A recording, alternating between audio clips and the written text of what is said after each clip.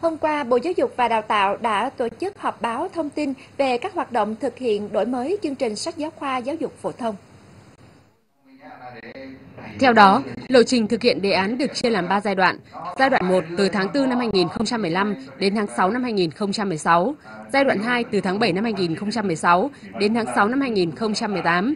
Giai đoạn 3 từ tháng 7 năm 2018 đến tháng 12 năm 2023.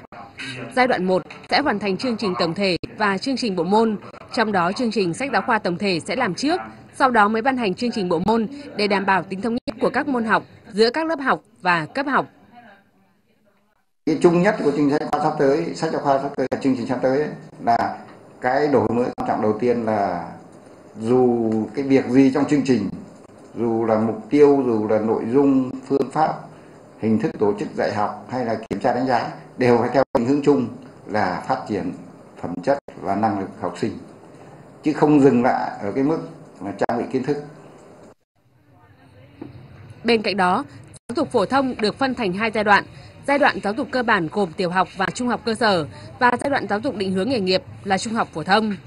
Trong giai đoạn giáo dục định hướng nghề nghiệp, xác định thời điểm và mức độ phân hóa, hướng nghiệp phù hợp. Giáo dục cơ bản để trang bị cho học sinh kiến thức phổ thông nền tảng. Đây là một mục tiêu. Cái thứ hai là hình thành ra cơ bản được cái phương pháp tự học của các em học sinh. Cái giai đoạn 2, giai đoạn giáo dục định hướng nghề nghiệp sẽ dạy học phân hóa bằng cách là có một ít môn bắt buộc thôi, còn một ít môn thì các em được tự chọn. Rồi thì thêm cái mới nữa là thêm cái chuyên đề học tập cho các em học sinh tự chọn để các em những chuyên đề này để cung cấp cho các em thêm những kiến thức mà các em muốn nâng cao rồi thì cung cấp thêm cho các em những cái hiểu biết về các cái nhóm ngành nghề ngoài xã hội